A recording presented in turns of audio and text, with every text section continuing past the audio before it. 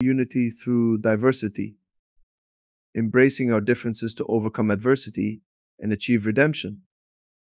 The most effective way to dismantle harmful ideologies is through transforming belief systems. Engage with those around you, in your community, and enlighten them with truth. From now on, view yourself as a mentor, a beacon of guidance for your community. Embrace the role of an educator, sharing the wisdom of the Torah with steadfast bravery. Rest assured, the divine presence surrounds you within and all around, ever present. This means there is no place devoid of the divine. In sync with this divine presence, you have the capability to challenge and transform opposing ideologies into allies through enlightenment. This task is deeply rooted in correcting age old misunderstandings. The historical misinterpretation of symbolic stories has unintentionally led to the formation of differing Abrahamic religions. These misunderstandings arise from ignorance and the belief of having knowledge superior to the divine. If we had remained firmly connected to the divine teachings, our collective path towards redemption would be much further along. Our current challenge is not fought with physical arms, but through spreading knowledge and celebrating our innate diversity. This diversity, akin to our distinct fingerprints, underscores our individual and collective significance within the divine scheme. Acknowledging and valuing our differences leads to unity, enabling respectful and gentle conversation despite varied beliefs. My hope is not to defeat the spirit of opposition through battle, but to dissolve the idols of falsehood, turning adversaries into allies.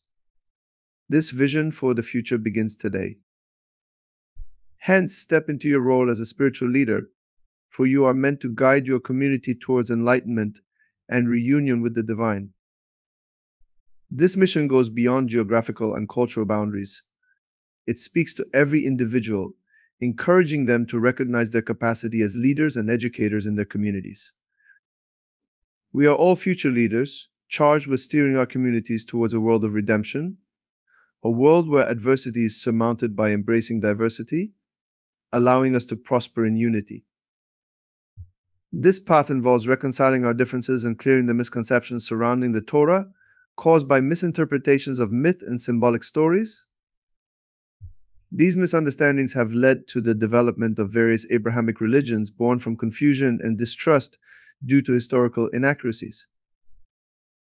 This effort, then, is not just educational but a deep spiritual awakening, calling individuals to rekindle their bond with the divine and each other, fostering a community where unity triumphs over division and comprehension resolves conflict. The onset of redemption begins on a deeply personal level unfolding within each individual soul. I encourage you to allow the divine to redeem you in this very moment. Allow yourself to become a vessel for his radiant presence, a presence that epitomizes the essence of truth, a light that is one with the Torah. Embrace his teachings and allow them to imbue your being. As you stand at the entrance of your home, open your door and step out with the firm belief that you, in your distinct role, embody the Messiah.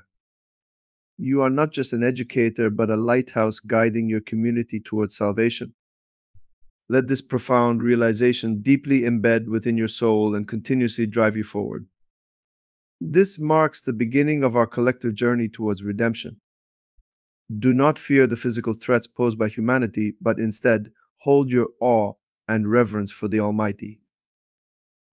Recognize the sublime beauty of the Creator who loves you unwaveringly, who has never left your side, and has always stood by you. It is us who have wandered away, not the divine. Our transgressions have blurred our vision, concealing the constant presence of the divine that is always before us. Embarking on this journey may feel daunting, perhaps overwhelming. It's conceivable you might think yourself in need of further preparation or perhaps even protection. Yet, the truth that stands before us is unprecedented. The world has yet to witness the emergence of its Messiah. No preparatory program has been perfected for such a purpose. In this moment, you become the embodiment of that preparation. Divine protection is bestowed upon you by Hashem. It's acknowledged with certainty that no financial hardship or health crisis befalls us without the express consent of Hashem himself, for he reigns supreme over our sustenance and our well-being. The divine presence, the Shekinah, the divine presence already resides amongst you, all around you with you. Therefore, it is imperative to approach this with humility, to refine oneself not with anger or wrath, but with love. To harbor the desire to adhere to the positive commandments laid out in our Tanakh, rather than fixate on the prohibitions that were conveyed by the prophets as a means to guide us back to the Torah. Let this essence define your existence, allowing Hashem to work within you, speak through you, and act on your behalf so that redemption may manifest through divine will. Hashem, our eternal sovereign, our true Messiah, whose name we exalt, is the Redeemer of this world through his boundless compassion. And this compassion is manifest today, evidenced by your engagement with this message, a testament to his divine providence and mercy.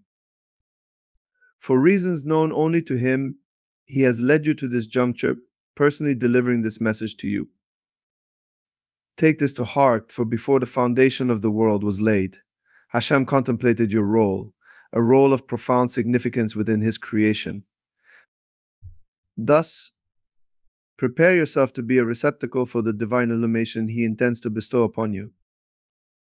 Should you be unprepared, the metaphorical vessel that is your being might fracture under the intensity of his light. Hence, the paramount importance of character refinement, the eradication of anger and conceit from our being, is emphasized. For humility is the key that unlocks the gates of redemption, a humility that fosters mercy, acknowledges diversity, and in turn cultivates unity, a unity that vanquishes division transforming foes into brethren, thereby fulfilling the divine will.